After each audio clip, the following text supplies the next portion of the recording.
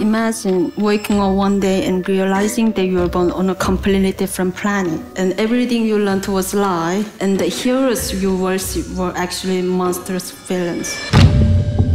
in North Korea. There is no freedom of religion, there's no freedom of thought, there's no freedom of press. The regime told us we are living in utopia, but We are captured in a huge virtual prison. Sometimes people will die through torture and there's no recourse. 너무 매우 많이 아팠어요. 내가 북한 사람을 도와야겠구나. 제가 교회는 또 이렇게 처음 또 이렇게 방문을 전화로만 이렇게 간절하게 막 아, 그 우리 저기 북쪽에서 넘어온 아- 아이 예. 엄마가 지금 여기 와 있어요.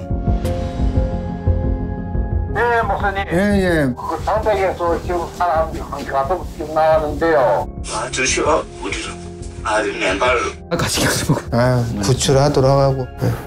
정말 감사합니다. 우리가 그 오는 장벽에서 나오는 구간이 첼로 좀.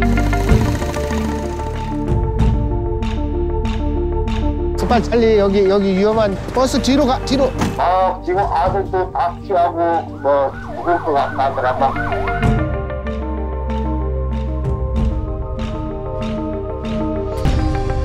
어때 지금 압록강 물은 어때요 불었어요? 어때요? 그 비가 오니까 조금 불어가지고서 그 지금 정도면 애가 위험한데. 너무 여유가 없는 시간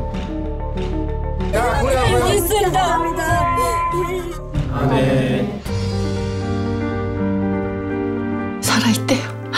내가 제가 어떻게든 제가 어미가 돼가지고 버리고 싶어서 버린 것도 아니고 그리고 대다수 대다수 탈북자들이 지금 생계를 위해서